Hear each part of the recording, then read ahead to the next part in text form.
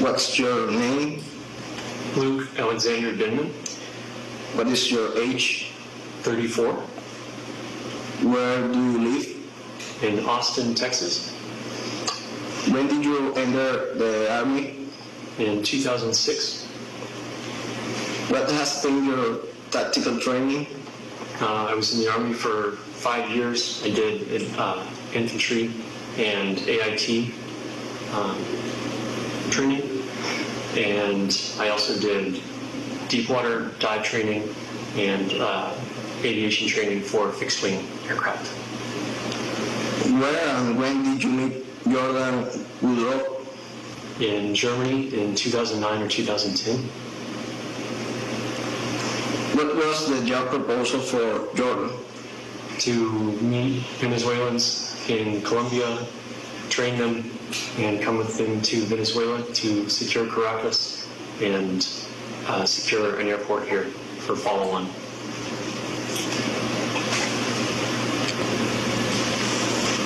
When did Jordan contact you for the job? Jordan contacted me for the job in early December, but he didn't give me a lot of details about exactly what it was. When did you fly from US to Colombia? In January on the 16th, Who accompanied you? uh, Jordan, Alex, and Aaron. How did you move to Riohacha? Uh, we took a car that Alex drove with myself and Aaron. Who accompanied, accompanied you? Uh, it was just uh, Alex, myself, and Aaron in the car to Riohacha. Who received you in Riohacha? Uh, Jakal, How much would Jordan pay for the job? um, I expected anywhere from 50 to a 100,000. What is the training you teach? Um, planning, mission planning, and tactical work inside buildings. How many times did you visit Colombia? This is the first time. How many times did you visit Venezuela? This is the first time. Where did you stay in Riohacha? Uh, there were some some houses that the, the the guys were living in that we stayed with them at. How received you in uh, Alta Guajira? Um, there was a, a man a man in a wheelchair and uh, a, a group another more men with him. Did you know about a document that described the close of the operation? Yes, I saw it uh, about a month month and a half ago with uh, Jordan's signature and Juan Guaido's signature. How many uh, people come from conform Silvercorp? Three that I'm aware of, including myself. Which kind of profile uh, have the the, the uh, peoples who works in Silvercorp?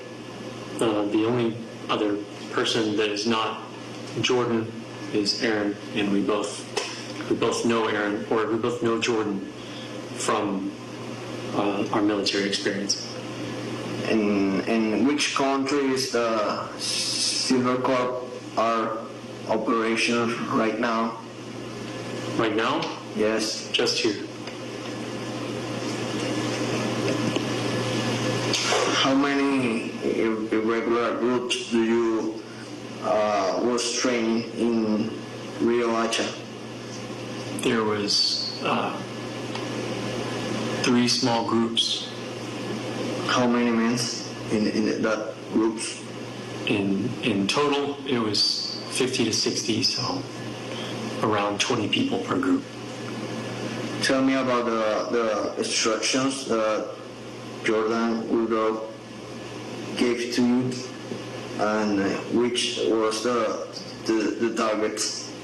The, the only instructions that I received from Jordan was to ensure that we took uh, control of an airport for safe passage for Maduro and uh, receiving of airplanes. Why the Donald Trump government insists in attack Venezuela if we don't uh, represent a, a threat for your country? I, I don't know. Do you have knowledge about uh, another training camps of uh, private contracts to make in, invasions at, in, in Venezuela? No. Why did you train irregular groups as a special force to invade Venezuela? I believe that it was helping their cause. I'm, I'm going to ask you, uh, as Venezuelan citizen, um, think in your condition, like uh, American soldier, what would, will be your reaction if irregular forces entered in, in your country in order to assassinate the president? I wouldn't like it. Right. Um, I, that would probably mean, mean more war.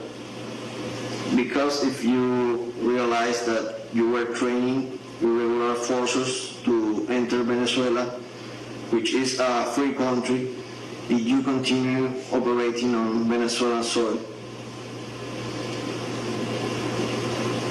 Because I didn't feel that that was the case, I, I, I was helping Venezuelans take back control of their country. What other tasks involve taking control of the airport? Securing the sector,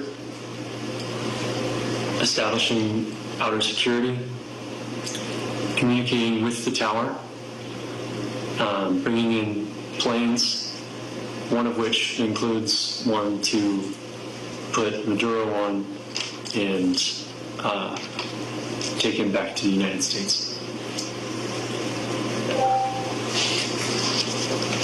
Who commands Jordan?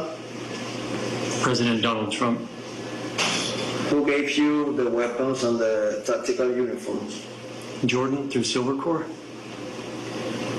What jobs does Silvercorp? uh, private security contracting and consulting, known in some places as mercenary work. How many American contractors were in the camp and the operation? Two, including myself. Can you describe Alex and how was your interaction with her? Um, she was late 30s, early 40s, 130, 140 pounds, brown hair, brown eyes, light skin. She spoke Spanish and English, and she drove us from Barranquilla to Riohacha.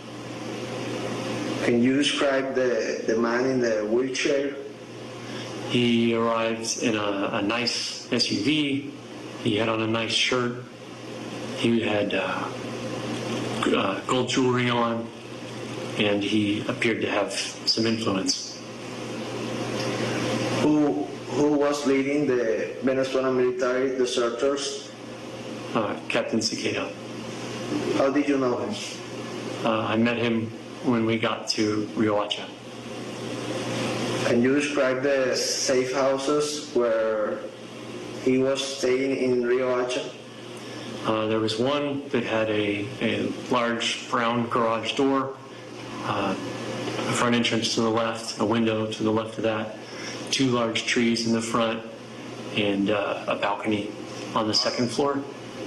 And the other one had a, a large gated area out front. Uh, it was a White House, and it had a, a police station very nearby.